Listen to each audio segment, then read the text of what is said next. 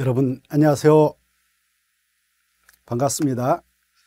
자, 오늘은 국토의 계획 및 이용에 관한 법률 기본서 86페이지 용도 지역의 지정 효과, 즉 용도적이 지정된 곳에서의 여러 가지 건축 행위 제한, 이런 행위 제한을 살펴보려고 합니다.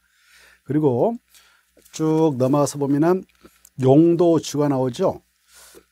용도 지구를 오늘 공부할 것이고 그 다음에 용도 구역 이런 파트를 공부해 나갈 겁니다. 자 그러면 먼저 이 시간에 86쪽을 보죠.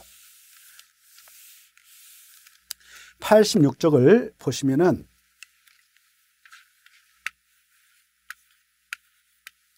자, 지금 우리가 국토의 계획 및 이용에 관한 법률 약자로 국토개법 하겠습니다. 국토의 계획 및 이용에 관한 법률 그리고 그에 따른 시행령 이걸 공부하고 있는데요. 이걸 국토계획법령이라 하죠. 자, 그래 국토계획법령상 내용으로서 용도 지역 파트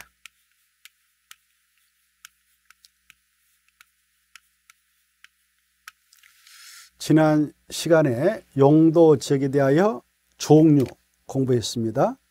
그리고 용도적 지정을 하게 될 때의 절차, 용도 지역 지정권자, 그리고 용도적 지정에 대한 특례 이런 것들을 공부했는데요.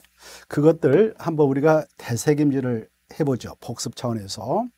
먼저 용도 지역의 지정은 누가 하느냐?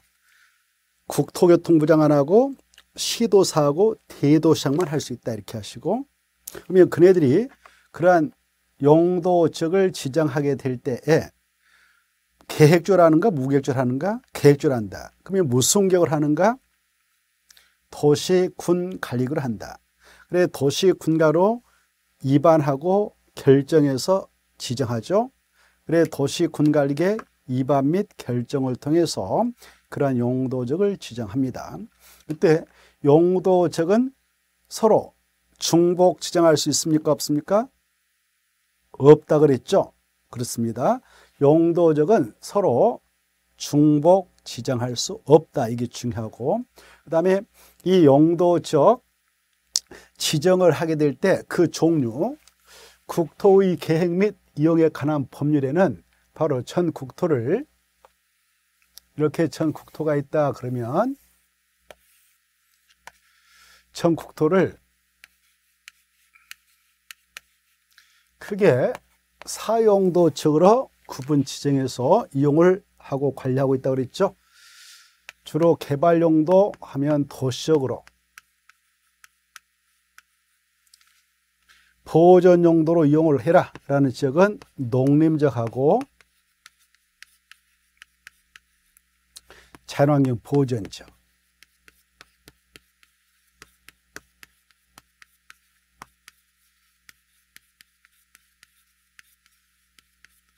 그리고 완충지대로서 보존하되 제한적인 개발도 허용하자. 그럴 때는 관리적으로.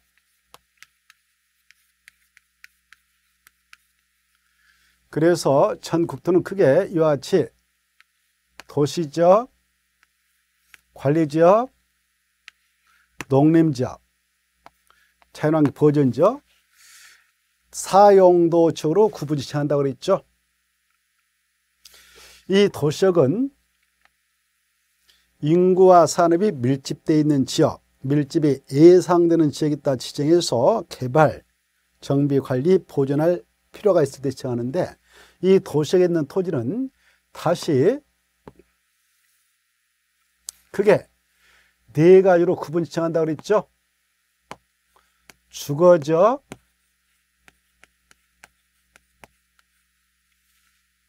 상업 지역.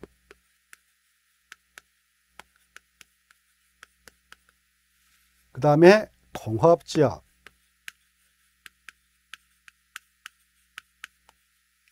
녹지 지역. 이렇게 해서 하나 둘 셋, 네, 이렇게 도시역에 있는 토지는 네 가지로 구분 지정한다. 그래서 주상공록은 도시역 내에 이 도시역이 있다 이렇게 하면 도시역 안에다가 구분해서 정하기 때문에 도시역에 속하는 용도적이다 이렇게. 그 다음에 이 관리적 다시 세 가지로 구분 지정하죠. 도시역 근교에 있는 관리적은 계획관리이다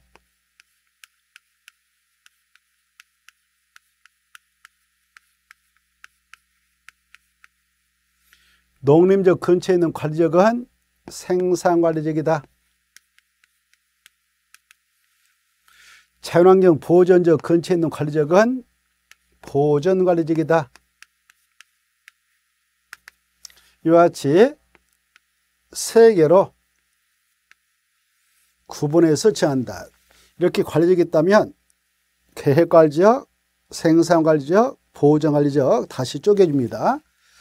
가늘게 쪼개준다. 가늘세 나눌 뿐에서 세분 지정. 그러나 이 농림적과 자연환경 보전적은 보전을 하자는 척으로서 더 이상 세분되지 않는다. 이렇게 하시고 자 여기에서 이 도시 관리, 농림, 자연 보존적을 크게 사용도 제기를 하고 그 다음에 도시의 땅에다가 네 가지로 구분 지정하고 관리적 있는 땅에다 세 가지로 구분 지정합니다. 이것은 국토의 계획 및 이용에 관한 법인의 근거에서 그와 같이 지정합니다. 근데 그에 따른 시행령, 시행령에 의해서 이 주거적을 다시 또 세 번의 생해요. 가늘세, 나늘뿐. 이걸 세 분 지정이라 하죠. 세 분에서 정하는데 이 주거적을 다시 여섯 개로 쪼개준다고 그랬죠. 지난 시간에 공부했네요. 자,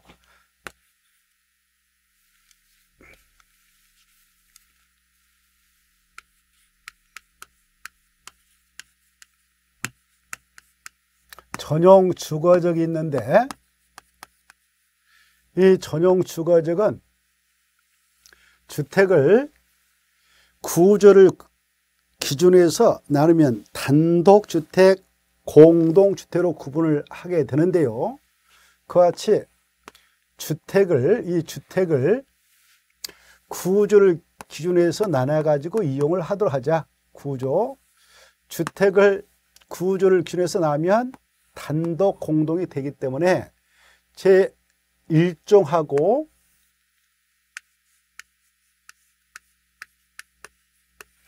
제2종 전용 주거지이다라고만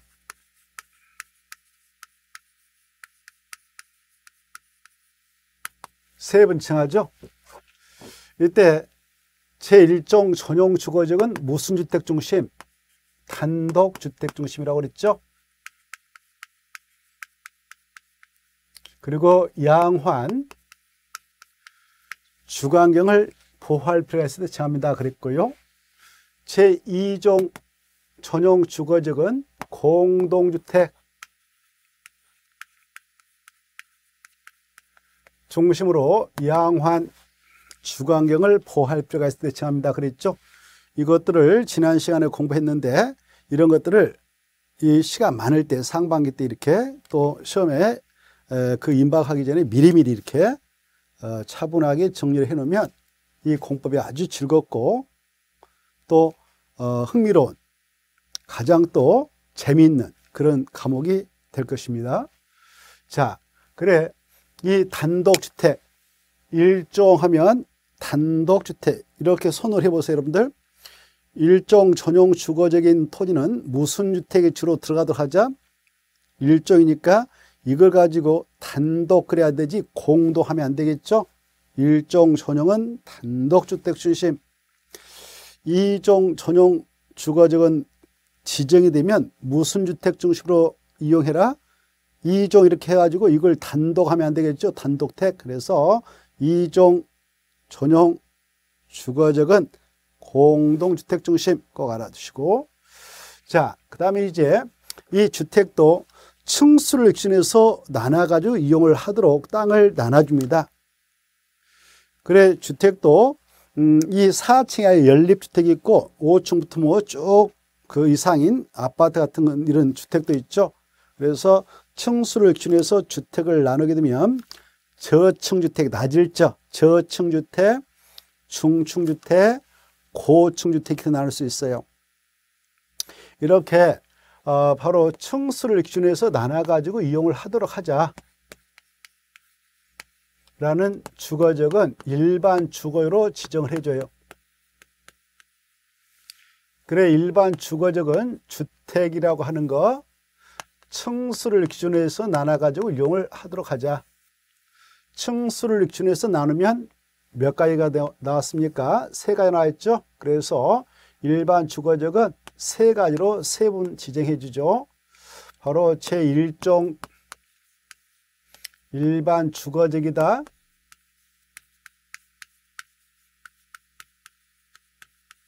그 다음에 제2종 일반 주거적이다. 제3종 일반 주거지다 이렇게 이것도 좀 잘 연결해서 알아주셔야 되겠죠 그래 1, 2, 3 할 때 숫자가요. 1, 그 다음에 2, 3이 올라가잖아요. 그래서 1은 저층 2는 가운데 있으니까 중층 3은 숫자가 가장 높으니까 고층, 중고층 이렇게 해서 자 제1종, 제1종 일반적으로 무슨 주택 중심? 저층 주택 중심으로 택지 발합니다. 주택 칠수는 땅을 밀죠. 그래서 편리한 주거환경을 조성할 필요가 있을 때 정해줘요. 어, 여기는 편리한,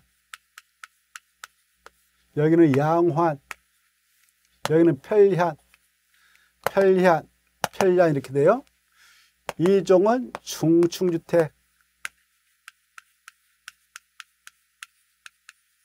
3종은 중고층 주택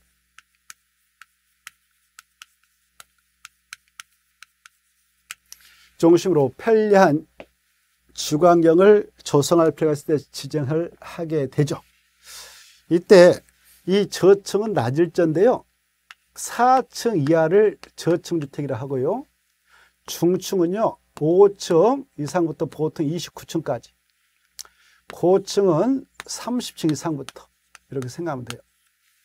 그래 어느 지역에 그 연립택인 4층에 있다 그러면 주로 제1종 일반 주거지일 것이고 땅이 5층부터 29층의 아파트 단지가 조성되면 제2종 일반 주거죠. 막 40층 아파트가 들어가는 땅이다 그러면 보통 제3종 일반 주거지기 되겠습니다. 그리고 이건 편리한 이건 양화이라고 그랬죠. 이것도 잘 받으세요. 그래 이것을 한번 기출한 바 있거든요. 짝치가 중요해요. 여기에서는 여러분이 시험 공부로서 알아둘 게 뭐냐면은 짝치기, 짝치기. 이렇게 짝치기. 짝, 짝, 짝, 짝, 짝. 이게 짝치기가 중요하단 말이에요. 그리고 양화는 전용 주거적이죠. 편리하는 일반 주거적이죠. 이걸 바꿔서 출제한 바 있어요. 전용 주거적은 양, 편리하 이렇게 일반 주거적은 양화 이렇게 하면 틀리는 거죠. 그래 이걸 짝짓기 하는 건데 시험 공부로서 그럼 어떻게 해서 뭘에다 넣어버리냐 바로 암기할 때 이렇게 하세요. 아가씨 중에 박양이 있고 이양이 있고 그러잖아요. 여기는 전양이 있습니다. 전양. 그 전양이 사랑하는 임을 만나가지고 일편단심하고 있어요. 일편단심. 그래서 전량이 일편단심하고 있다. 전용 주거적은 양환, 일반 주거는 편량, 전량은 일편단심에 빠졌다. 그 다음에 이 주거적은 다시 준 주거적이 또 있죠. 자, 이렇게. 그래서 일단 주거적은 우리 시행령에서 여섯 가지로 세분됩니다. 여섯 가지. 그 다음에 상업적은 네 가지가 있었죠. 중심 상업적, 다음에 일반 상업지역, 그 다음에 유통 상업지역, 그 다음에 근린 상업지역 이렇게 중심은 도심, 부소심 등 상업 업무기를 확충할 필요가 있을 때 정한다 그랬죠?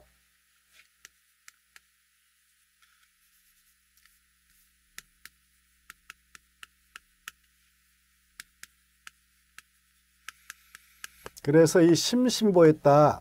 그러면 중심할 때 심이 보니까 어 이건 중심 상업적이지 이렇게 상업 업무기능 확충할 필요가 있는 지역일 때 그래서 이것은 심심이 나오고 상업이 나오고 지견하면 중심 상업적이다 이렇게 암기라고 그랬죠. 일반 상업적은 일반적인 상업 여기 나오죠. 업무 기능을 바로 담당할 필요가 있는 지역이다 칭하는데 일반이 보이고 상업이 오고 직인하면 일반 상업적은 지정 목적 짝짓기. 유통 상업적은 도시역 내, 여기가 도시역 내죠? 여기가 도시적이죠? 도시역과 또 비도시역이 지역 간, 도시역 내 지역 간 유통 기능. 유통 기능 할 때 유통이 보이죠? 유통 기능 증진 필요적이겠다 칭하죠? 유통이 보이고 직인하면 유통 상업적이다. 근린 상업적은 근린 지역에서의 일용품 서비스 공급 담당 필요적이다 칭한다. 그래 근린이 보이고 지역이 보이면 근린 상업적 지목식이구나 이렇게 잡아두면 되죠. 자, 그 다음에 이제 공업적은 세 가지가 있다고 그랬죠. 전용 공업적,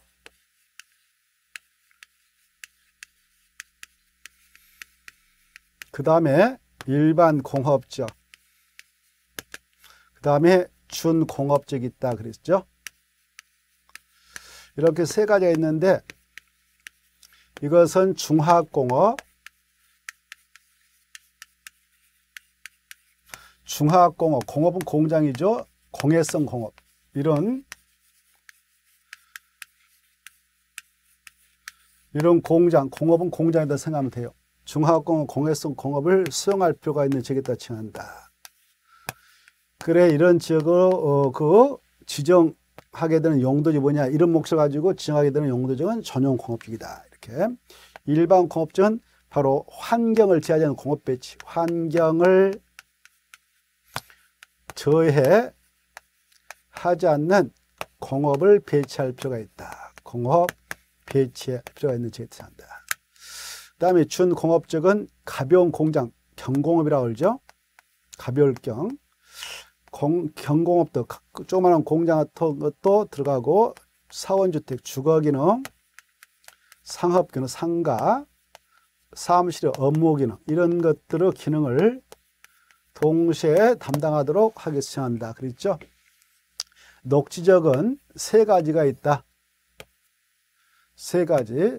세 가지 뭐냐? 그러면 자연 녹지 생산 녹지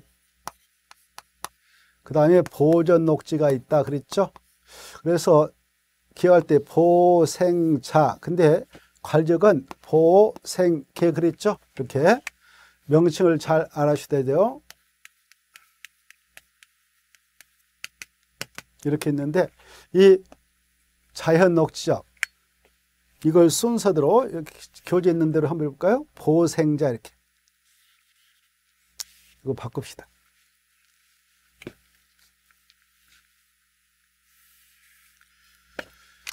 보존 녹지, 생산 녹지, 그 다음에 자연 녹지, 지역. 이렇게. 왜 보존 녹지죠? 생산 녹지역, 자연 녹지역 있죠?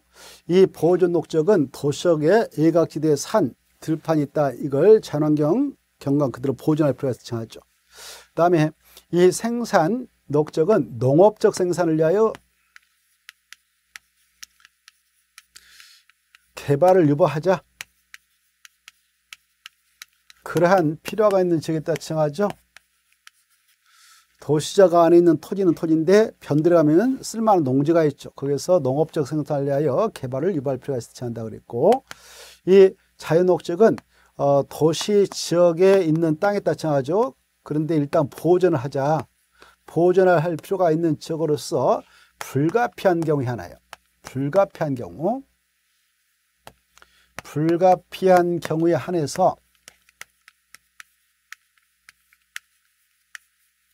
불가피한 경우에 하나여 제한적인 개발을 허용하겠다. 제한적인.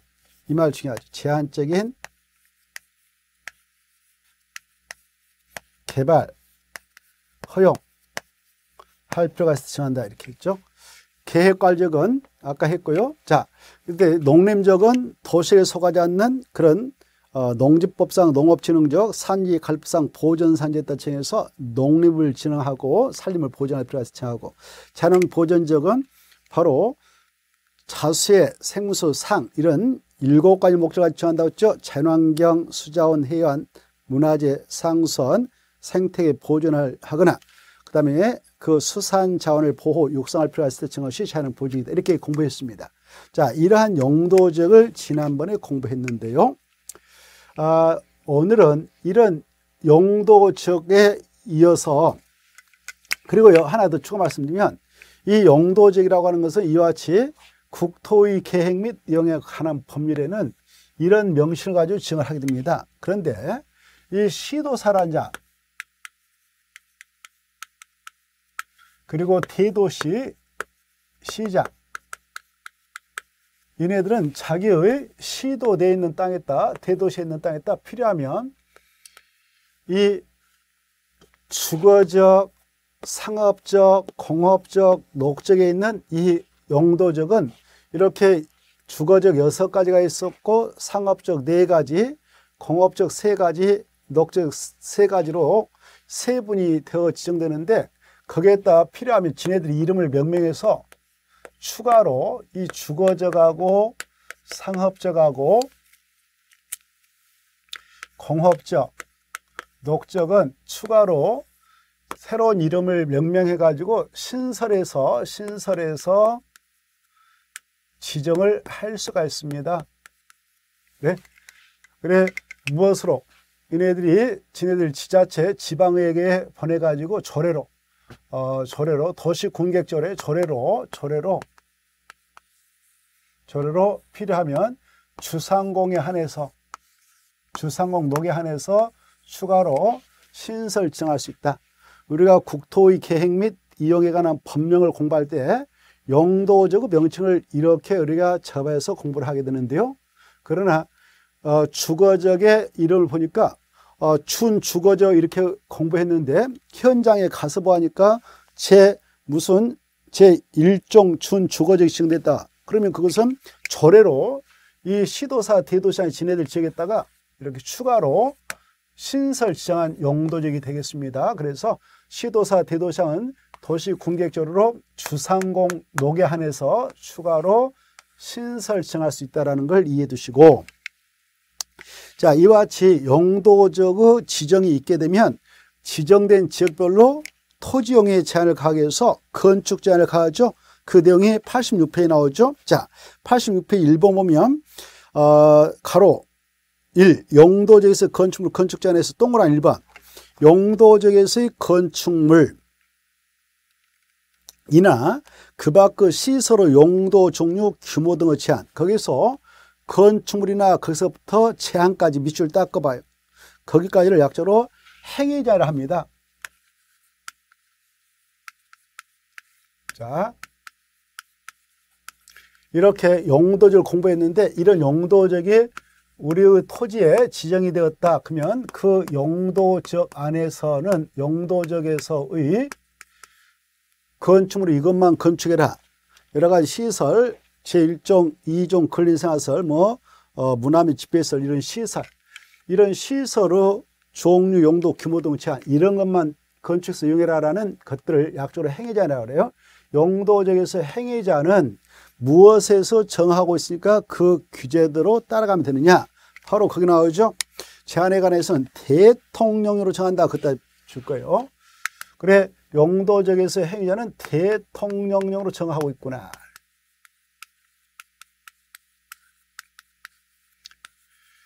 대통령령이라고 하는 것은 바로 국토의 계획 및 이용에 관한 법률 시행령 말하죠. 그래 시행령 제 71조에 규정되어 있어요. 71조. 거기 나있죠. 가로 해가지고 0. 0이라고 하는 것은 국토의 계획 및 이용에 관한 법률 시행령 말이에요. 시행령 71조 2항에 규정되어 있다. 이렇게 되어 있죠. 이 정도만 딱 봐두시고. 그 다음에 그래 그 0, 71조 2항 거기다 딱 줄 거 봐요. 그래서 그 내용은 바로 밑에다 이렇게 써요. 88페이지부터 88페이지에서부터 시작해서 바로 109페이지까지 109페이지까지가 그 내용입니다. 거기다 써놓으세요. 그래서 이 용도적이 지정됐다. 그 안에 있는 토지 이렇게 여기가 자연환경 보존지로 지정되어 있다 이 땅이 그러면 여기에 있는 토지 가지고 토지를 이용할 때 어떤 용도의 건축물 어떤 시설을 건축해 될까 이런 행위자는 뭘알수 있다고요? 바로 대통령령 이 표가 대통령령에서 정하고 있는데 자연환경 보존자 안에서의 건축물은 이것만 건축해라고 규제합니다. 어, 바로 이 국토의 계획 및 이용에 관한 법령의 시행령 예, 71조에서는 어, 이 자연환경 보존직은 농가 주택하고 어가 농민들이 어민들이 농업인 어업인이 이용하는 주택을 농화가 주택이라는데요. 농화 단독택을 건축할 수 있고요. 그네들의 자녀가 다닐 수 있는 초등학교 이런 것들을 건축하도록 인정합니다. 이런 것이 한번 기출된 바 있어요. 자연환경 보존단에서 건축할 수 있는 건축물 옳은 거 이렇게 바로 조례에서 정하고 있는 거 놔놓고 우리 시행령에서 정하고 있는 것은 모든 국토에서 똑같이 자연환경 보존하면 똑같이 적용되는데 두 가지밖에 인정하지 않고 있어요. 어, 농어가 단독택하고 초등학교만 져라 이렇게 이런 것들은 어디에서 규정하고 있다고요? 대통령령, 시행령 알겠죠? 이렇게 이해를 해 두셔야 돼요. 자, 그래 109페이지 보면 일단 저 뒤에 가서 109페이지 한번 봐보세요. 109페이지 가면은 21번 해서 자연환경 보존적, 여기 자연환경 보존적이 땅이 있다 그러면 자연환경 보존적 안에서 건축할 수 있는 건축물에서 시행령에 있는 내용인데 건축할 수 있는 건축물에서 그것은 왼쪽 칸은 시행령에서 정하고 있는 것이고 오른쪽 칸에 있는 것은 조례에서 정하고 있는 것이죠. 그래서 조례는 지방자치단체인 특별시, 광역시, 특별자치, 특별자도시, 군마다 다 달라요. 조례를 통해서 도시 군계획적으로 그 정하게 될 때 그 박스 안에 오른쪽 칸의 것만 허용할 수 있습니다. 그래 거기 오른쪽 칸에 보면은 도시 군계획적으로 109페이지 한번 가보세요. 109페이지. 109페이지 보면은 109페이지 보면은 어, 자연환경 보호전자 안에서 건축할 수 있는 건축물에서 왼쪽 칸은 시행령에서 전국대에 똑같이 자연환경 보호전점이 인정된 거죠. 어, 거기 보면 농어가 단독택 또 초등학교를 건축하도록 허용하게 두 가지 일단 허용합니다. 다른 거 안 되고요.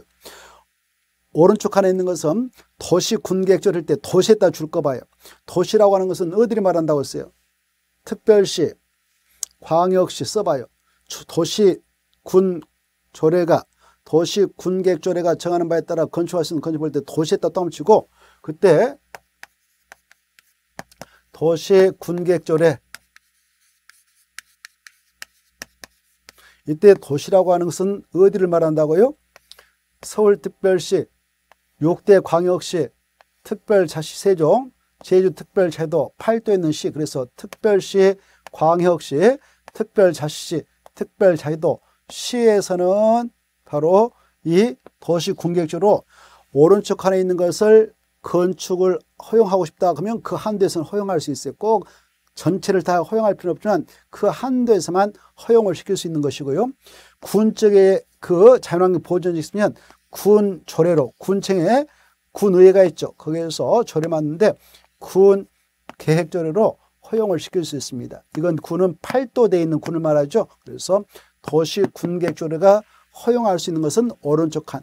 이것은 각각 지자체마다 다르겠죠. 그러나 왼쪽 칸에 있는 것은 바로 영에서 시행령에서 인정하고 있기 때문에 전국대 똑같이 자연환경 보존지역에 따라서는 허용합니다. 그래 여러분들 자연환경 보존지에 있는 토지 가지고 주택을 진다 그럴 때는 아무에게나 다 주택을 지게 허용한 거 아니에요.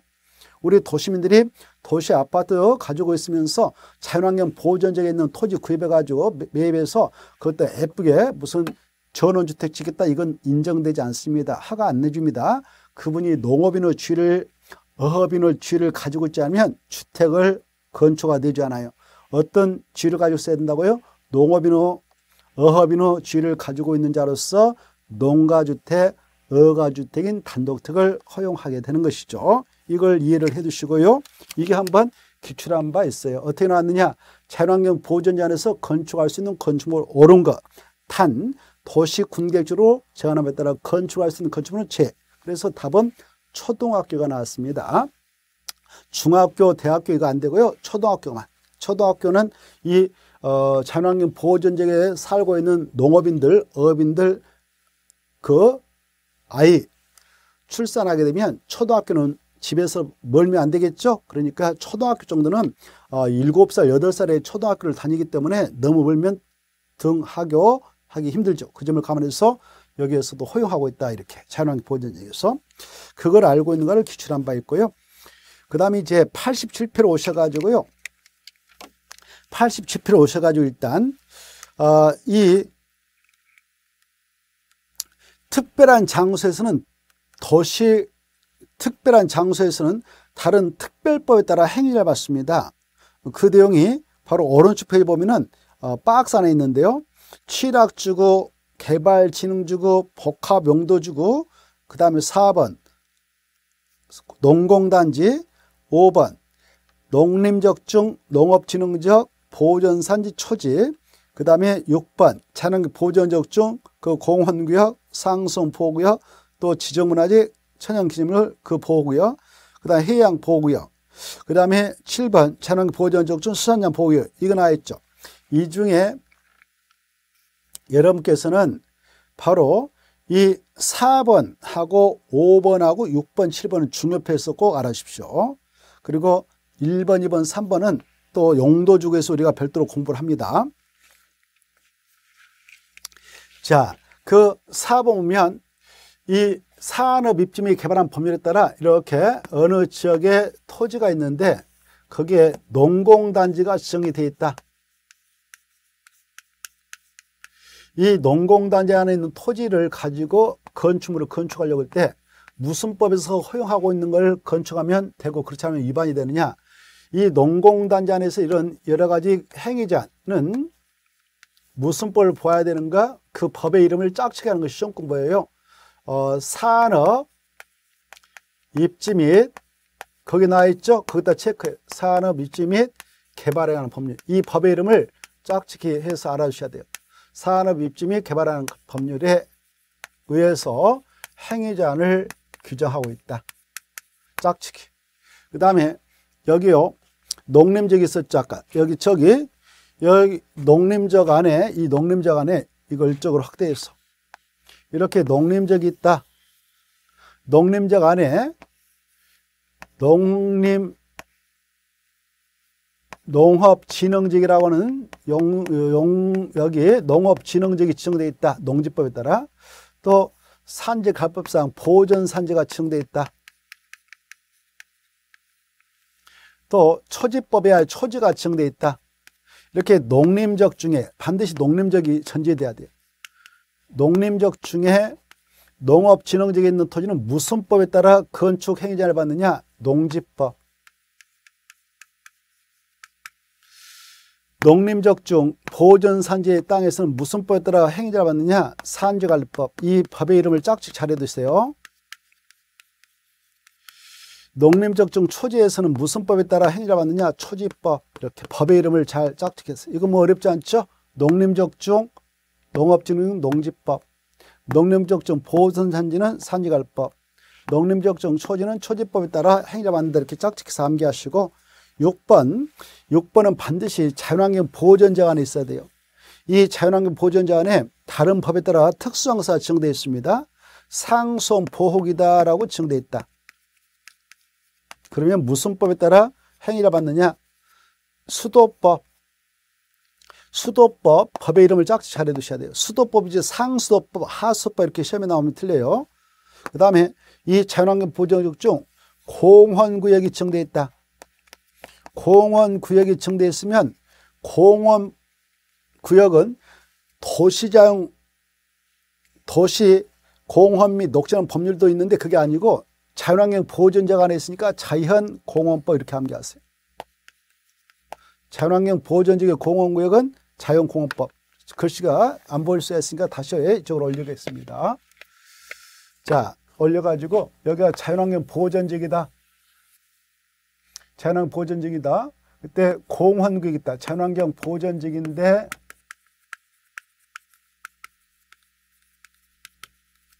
이 안에 공원구역이 있다. 무슨 법? 암기할 때 자연공헌법. 자연환경 보존자 간에 여기가 바로 어, 지, 지정문화재, 지정문화재 아니면 천연 기념물로 지정돼 있다. 그러면 둘 다 문화재 보호법, 천연 기념물 보호법이 아니라 문화재 보호법과 아세요? 그다음에 자연환경 보존 적 중 아까 상손 보고 있으면 무슨 법? 수도법이라고 그랬죠? 자연환경 보존 적 중 어, 해양 보호구역 있다. 해양 보호구역.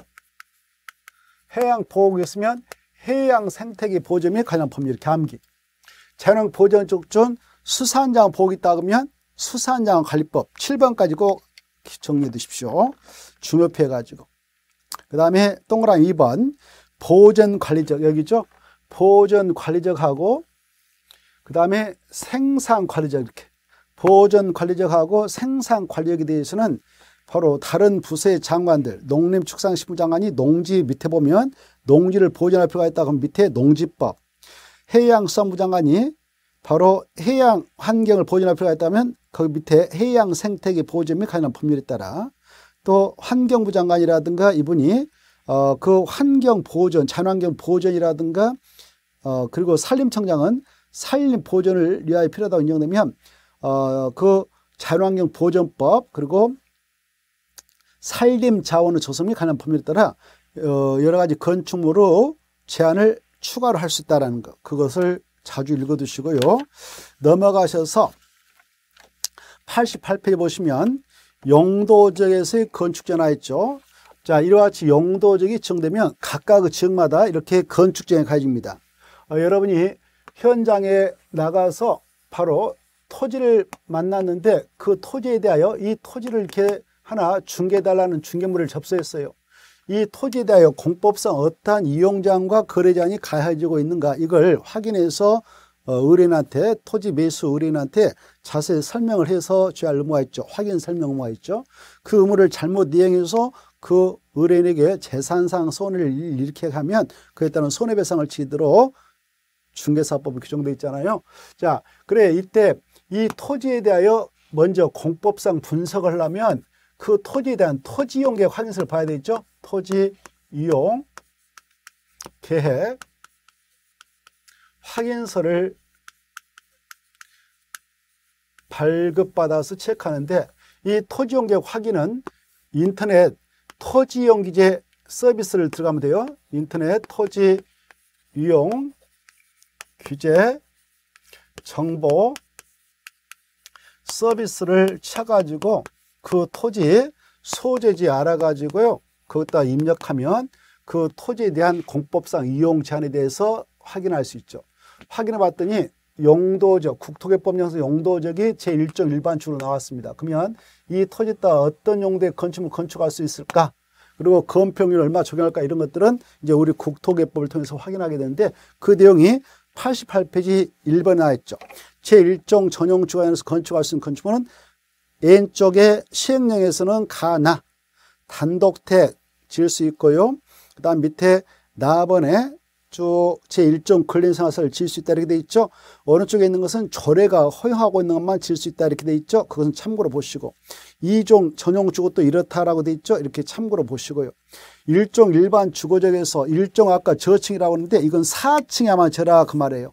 4층이 저층이 하거든요. 그래서 여러분이 제 1종 일반 주거지에 있는 토지 만났다 그러면 여기 있는 토지는 4층 이하만 건축을 해야 된다. 그래서 아파트는 지을 수 없는 땅이 돼요. 아파트는 주택으로 쓰는 층수가 5개 층 이상의 공동택을 말하거든요. 그래서 동그라미 3 보면 제1종 일반 주거지 안에서 건축할 수 있는 건축물은 4층에만 저라. 그런데 다만 외해조로 이 주택법 시행령에 규정하고 있는 도시형 생활주택 중 단지형 연립주택하고요.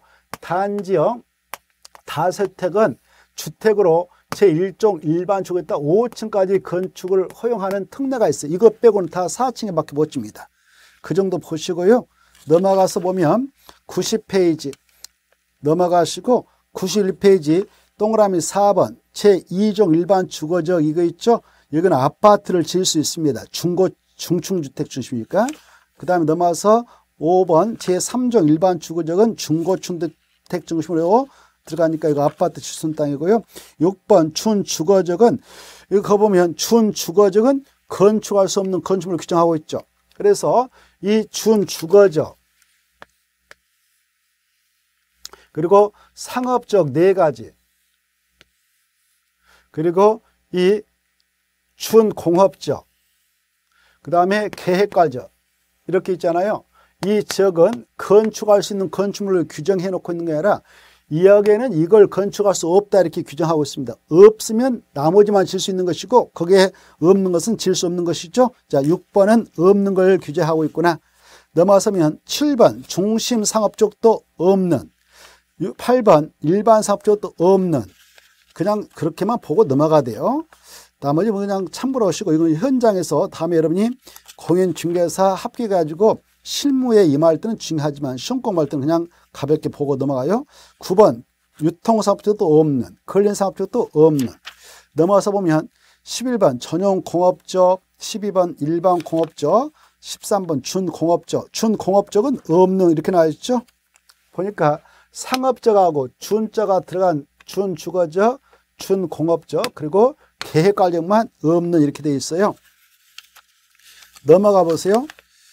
그 다음에 100페이지 넘어가면은 14번 녹적이 나와 있죠. 녹적은 보존 녹지, 생산 녹지, 자연 녹지인데 다 이건 4층 이밖에 못 집니다. 4층. 이것도 좀 알아주시고. 그리고 5층 안 돼요. 어, 보존 녹적은 4층이야. 생산 녹적도 4층이야만 넘어가서 102페이지 자연 녹적도 4층이야만 넘어가시고 104페이지 보존 관리적 여기 관리적 세 가지 있죠. 보존관리, 생산관리, 계획관리 있는데 이것도 다 관리적 무조건 4층에 밖에 못 집니다. 이렇게. 그 다음에 18번 생산관리도 4층에만. 그 다음에 106페이지 19번 어, 계획관리도 4층에만. 그런데 거 보면 4층을 초과하는 모든 건축물을 건축할 수 없다. 없는 했다 체크.